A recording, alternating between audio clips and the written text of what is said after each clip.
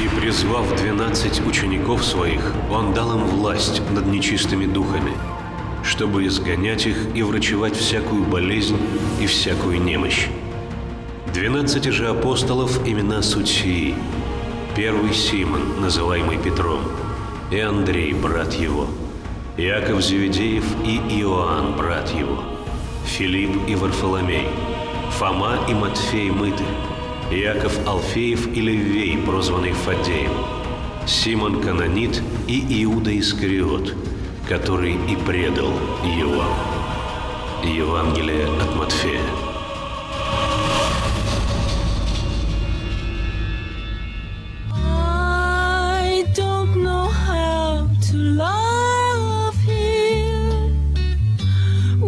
To do,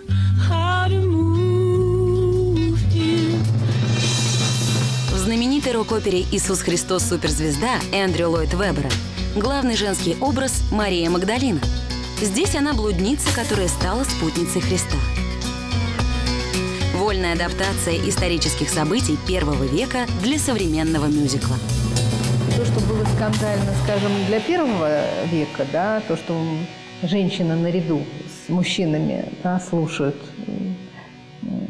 проповедника, учителя и становятся учениками, то э, уже в 20 веке трансформировалось сквозь уже призму проблем 20 века. А самая главная проблема, одна из главных проблем 20 века – это сексуальная революция. Да, если мужчина рядом с женщиной, значит, между ними нет барьеров. Это как раз попытка приблизить Евангелие да, к такому более бытовому, что ли, уровню. Э, Не идти вверх, куда Евангелие зовет, да, а наоборот, как бы объяснить все через очень простые человеческие отношения. Если любовь, значит, любовь сексуальная. Если, значит, женщина рядом, то только вот как такой вот партнер и, и жена, или там невеста, или любо- любимая там и так далее. Какие отношения на самом деле связывали Христа и Марию Магдалину? Была ли верная ученица влюблена в своего учителя? Что знают о ней доподлинные историки? Что говорится о ней в Евангелиях? Была ли она блудницей или любимой ученицей Христа? И почему Марию Магдалину называют апостолом для апостолов?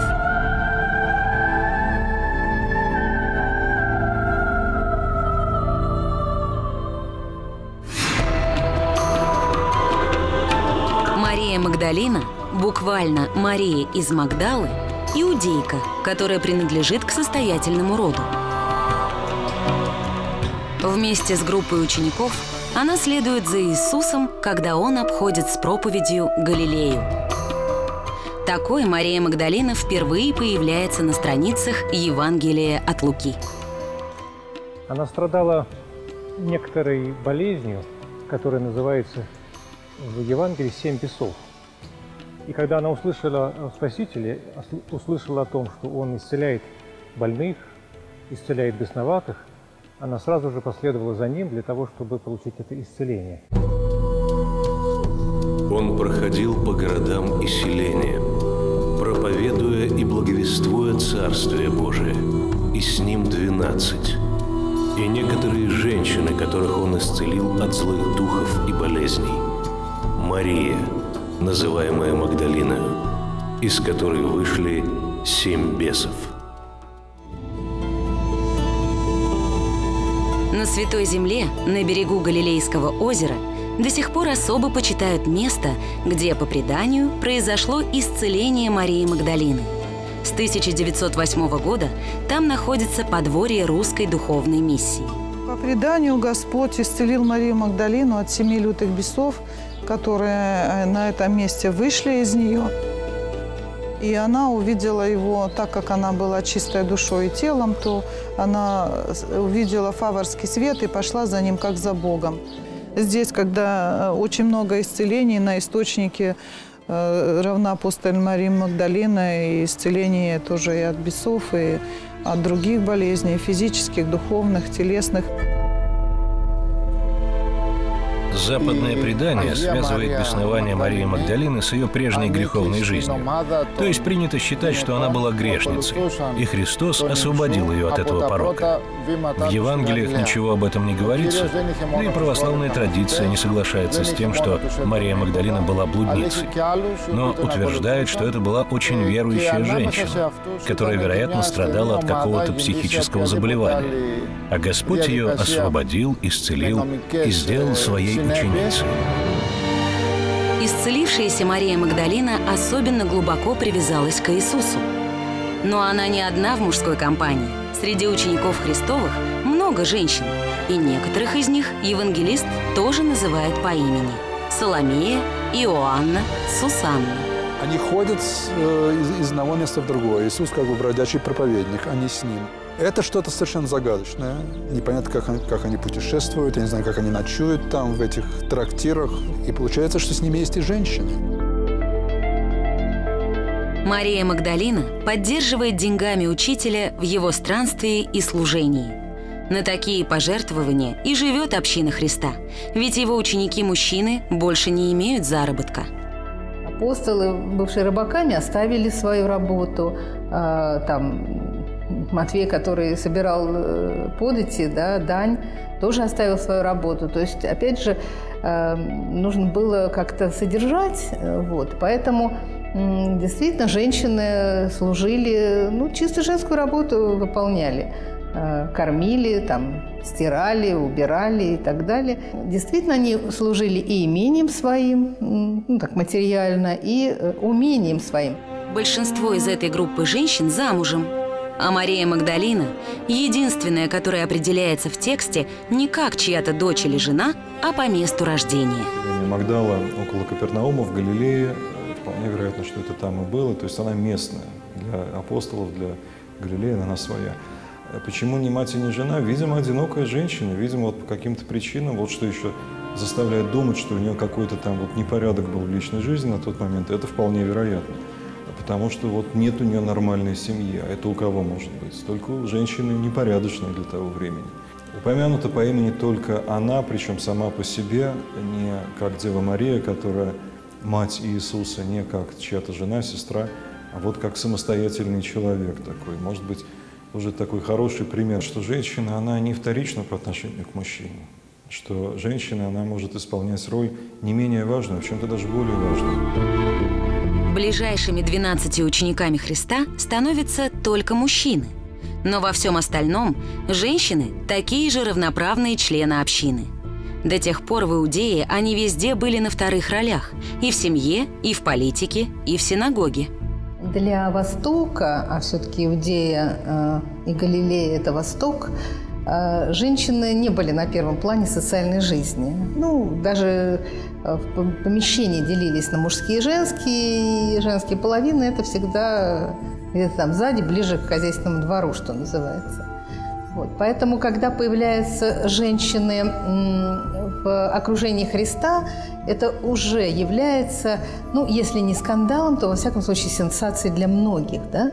Ученики – это понятно. У каждого рави были свои ученики. Но чтобы э, в учениках были женщины, уже э, для того времени э, большой прорыв. Именно женщины становятся свидетельницами распятия Христа. Они следуют за ним до конца. Рядом с крестом в момент казни вместе с Богородицей стоит и Мария Магдалина, и мать апостолов Иоанна и Иакова Зеведеевых. Из учеников Христа с ними только Иоанн. Все остальные разбежались в страхе за свою жизнь. Там были также и смотрели издали многие женщины, которые следовали за Иисусом из Галилеи, служа Ему. Между ними была Мария Магдалина. Женщины, которые вот тоже оставив, может быть, свои там дома, уже э, какую-то жертву принесли, вот такую жертву любви. В разных Евангелиях, опять же, разные женщины упоминаются. Но ясно, что женщины стояли у креста. И это тоже показывает о том, что они э, повели себя более смело, более жертвенно, более мужественно, чем апостолы. Женщины присутствуют и при погребении Христа. Но главное, Именно они во главе с Марией Магдалиной приходят к гробнице Христа на третий день и первыми узнают о том, что Он воскрес из мертвых.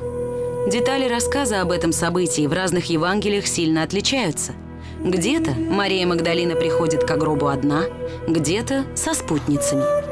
У Матфея женщины видят воскресшего Христа и припадают к его ногам. Иоанна Мария Магдалина встречает его одна – и Иисус не позволяет ей прикоснуться к себе. Она увидела садовника и спросила, где положили его? Это был Иисус, она не узнала его, и тогда он ей сказал, «Марьям». И только тогда она узнала его голос. Поспешила к нему, но он сказал, «Я иду к Отцу Небесному. Иди к моим ученикам и скажи, что я жив, и они встретят меня в Галилее». Иисус говорит ей, «Не прикасайся ко мне, ибо я еще не вошел к Отцу моему, а иди к братьям моим и скажи им, восхожу к Отцу моему и Отцу вашему, и к Богу моему и Богу вашему». Мария Магдалина идет и возвещает ученикам, что видела Господа и что Он это сказал ей. Такой тоже очень женский, на самом деле, жест. Вот родного, любимого человека обнять, обнять, не отпускать никогда, вот держать его при себе. Вот он же мой, он же наш, родной, любимый. А он и говорит, не прикасайся, потому что я еще не вошел к отцу. Тоже такая грубая, казалось бы, фраза, как это не прикасайся, зачем? Она же вот его встретила. Может быть, именно для того, чтобы оттолкнуть не ее, но ее такой чисто человеческий порыв, вот это желание обнять, схватить, удержать, не отпускать. Подожди, есть отец. Вот Отец на первом месте. Я тебя тоже люблю, я буду с тобой. Но просто не пытайся меня не пустить к Отцу, не пытайся меня сделать своим домашним, вот чтобы я у тебя в объятиях дальше всю жизнь существовал. Нет, так не бывает. Я больше, чем э, ты сейчас видишь перед собой. Да? И э, поэтому это вот тоже такой удивительно женский рассказ, с одной стороны. С другой стороны, он показывает, что женщина в христианстве абсолютно не вторичная, она другая она не второй мужчина. Да? Потом очень часто в житиях будут э, превозносить женщин, которые вели монашескую жизнь в мужском обличии, и только после смерти оказывалось, что они женщины. Так тоже бывает. Но э, в христианстве с самого начала говорится, что женщина может быть стопроцентной женщиной и при этом величайшей христианкой. Все авторы сходятся в одном – Мария Магдалина первой узнает о воскресении Христовом, и именно она приносит эту новость, благую весть, его ученикам. Это единственная женщина, имя которой встречается во всех четырех Евангелиях. Апостол Иоанн даже Богородицу упоминает только как Мать Христа, без имени, а Марию Магдалину называет. Ее особенная роль именно в том, что она стала первым очевидцем воскресения. И еще важнее, она сообщила о нем самим апостолам. В средние века в католической церкви ее называли «апостолус апостолорум», что значит «апостол апостолов». Но, несмотря на все это, мы очень мало знаем о ней. Она не оставила никаких текстов, в отличие от некоторых учеников Христа. Вероятно, она была и вовсе неграмотной. Неудивительно, что образ Марии Магдалины многие толкователи Евангелия пытались расширить. Ее отождествляли и с блудницей, побитой камнями, и с Марией из Вифании, сестрой Марфы и Лазаря, и чаще всего с грешницей, которая помазала Христа миром. Тот, который утвердил вот тождество этих трех женщин, никто иной, как Григорий Двоеслов – мы знаем, что Григорий Дыслов был э, э, посланником папы, представителем папы в Константинополе. Это означает, что он не мог не знать восточное предание, которое различало всех этих трех женщин. На самом деле, ни одна из этих новозаветных историй не имеет отношения к Марии Магдалине. Судя по тому, что мы видим в Евангелии, когда Иисус изгнал из нее семь бесов, то, собственно говоря, на этом ее прежняя жизнь закончилась с какой стати она бы снова там стала впадать в блуд, заниматься какими-то непотребными делами. Так что э, получается некоторая нестыковка, да? Если он уже ее изгнал, и вдруг она приходит к нему омывает ему ноги, и э, они говорят, если бы он знал, какая она грешница. Но он ее уже знает, раз изгнал, и она уже не грешница, раз он изгнал. Из-за этого смешения разных евангельских героинь самым распространенным образом Марии Магдалины в мировой культуре стала плачущая женщина с длинными распущенными волосами, которая держит сосуд с миром. Хотим мы или не хотим, но на самом деле вот это отождествление Марии на самом деле проникло в наше сознание, потому что кающаяся грешница, кающаяся грешница – это вот именно та грешница, та блудница, которая омывала ноги Спасителя на трапезе у Симона. И именно потому, что на Западе вот считали, так сказать, безусловно, что это и есть Мария Магдалина, и поэтому во многих изображениях это стало одним из ее иконографических, э, так сказать, образов. В христианской традиции Мария Магдалина со временем превращается в сложную героиню, собирательный образ, который выходит за рамки Евангелия. Она стала любимой святой средних веков, а ее житие – настоящим средневековым бестселлером. Из-за ее ошибки у гроба воскресшего Христа ее объявили покровительницей садовников, а ее сосуд с миром стал любимым символом аптекарей. По всей Европе себе в заступнице выбирали Марию Магдалину тюрьмы и убежища для кающихся проституток. Самым популярным образом Марии Магдалины в эпоху Возрождения стала кающаяся грешница. В этом сюжете, в слиянии чувственности и набожности, она изображена на знаменитом полотне Тициана. Как показать эту молодую, красивую женщину, которая вот раскаивается – и поэтому там и Тициан, и Эль Греко, э, и кто только не рисовал ее. Вот именно показывая, с одной стороны, ее физические прелести, да, что, собственно, привлекало очень художников Возрождения, а с другой стороны, вот этот ее страстный порыв, значит, вот покаяние со слезами на глазах, там, с устремленными взором к небесам. О том, как сложилась судьба настоящей Марии Магдалины после воскресения и вознесения Христа, точных сведений нет.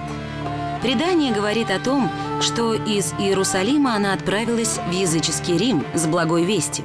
А когда многие не верили, что Христос воскрес, она повторяла им то же, что сказала в светлое утро воскресения апостолам. «Я видела Господа, Он говорил со мной». С этой проповедью она обошла всю Италию. По преданию, она даже пришла с рассказом о Христе к самому императору Римской империи Тиберию. В те годы он безвыездно жил здесь, на острове Капри. Тиберий переехал на Капри в 26 году нашей эры и ни разу не покидал остров в последние 11 лет своей жизни. Здесь, на высоте 300 метров над уровнем моря, он нашел самое безопасное место для укрепленной крепости. Ни один из противников или заговорщиков не мог сюда подобраться и напасть на императора. Тиберий был очень приземленным человеком и довольно жестоким. Вот отсюда, со скалы, он сбрасывал в море своих врагов или слуг, которые в чем-то провинились. Когда Мария Магдалина рассказала императору Тиберию о воскресении Христа, тот не поверил и потребовал доказательств. Тогда она взяла яйцо и, подавая его императору, сказала «Христос воскрес!». При этих словах белое яйцо стало красным. Именно благодаря Марии Магдалине по всему миру распространился обычай дарить друг другу пасхальные яйца, как символ воскресения и новой жизни –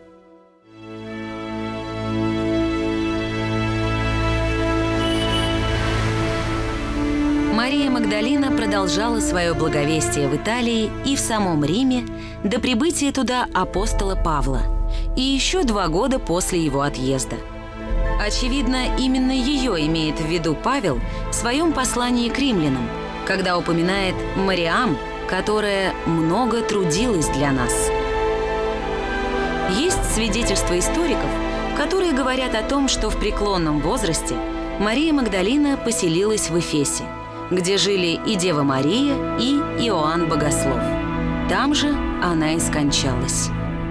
ученые ставят вообще под сомнение, э, что в Эфесе были э, крепкие христианские общины, да, потому что апостол Павел заново там восстанавливает или, по крайней мере, заново сеет Слово Божие и христианскую общину делает.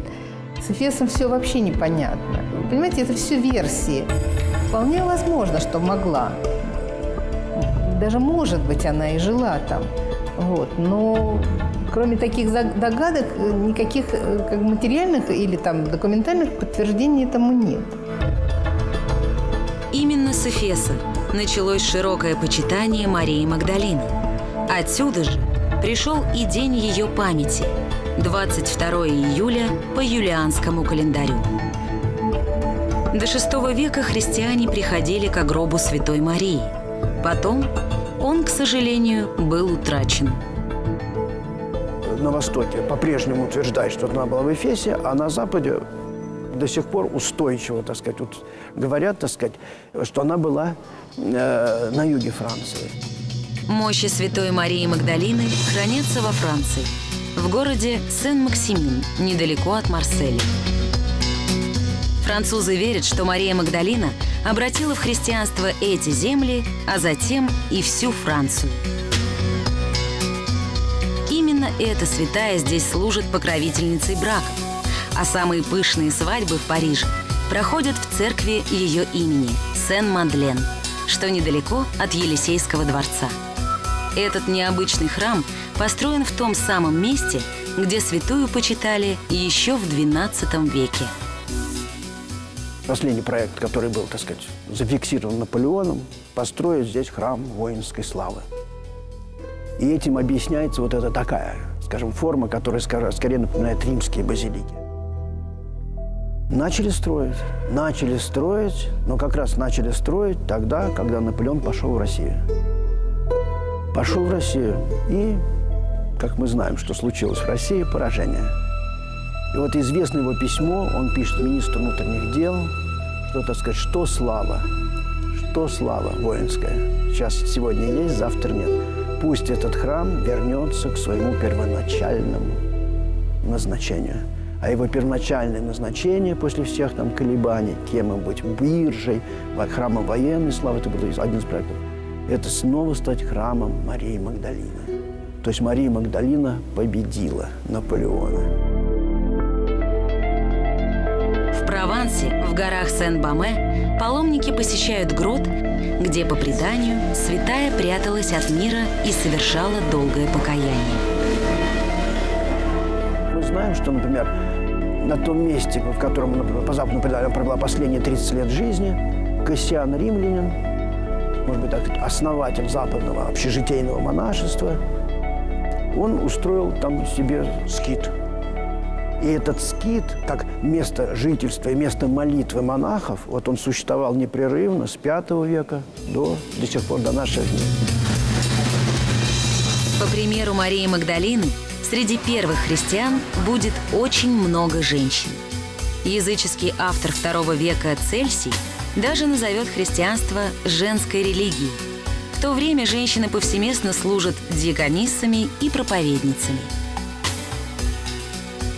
но уже к третьему веку, в процессе создания иерархии духовенства, в церкви будет повышаться статус целомудренных мужчин. С начала IV века тем, кто служит у алтаря, предписывается воздерживаться от отношений с женщинами. Целебат у духовенства в католичестве останется навсегда, а Мария Магдалина станет жертвой волны аскетизма – и ее перестанут называть апостолом для апостолов. Папа Григорий I в VI веке в своей проповеди назвал ее э, «великой блудницей». Желая, может быть, подчеркнуть, что вот она была блудница, потом она покаялась. Может быть, это сиюминутное было какое-то, так сказать, э, желание обратить внимание на то, что нужно покаяние, чтобы быть учеником Христовым да, вот легкой руки папы до сих пор считается, что все-таки она была блудницей и потом раскаялась, потом как бы вот, да, пойдя за Христом, изменила свою жизнь. Православная церковь чтит память Марии Магдалины как святой, которая была призвана самим Господом от тьмы к свету и от власти сатаны к Богу, и стала примером истинного обращения и покаяния. В Восточной Церкви она издревле и до сих пор носит особенный титул – Святая равноапостольная Мария Магдалина. Ведь первая свидетельница воскресения Христова не могла оказаться случайной, а только избранной. Грехопадение началось с женщины, с Евы, да? А, Мария, конечно, искупает грех Евы, ну, тем самым, что Ева как бы отвернулась от Бога, да, раньше даже, чем Адам, соблазнившись, вот, то Мария, я имею в виду Богородица, да, отвечает Богу «да».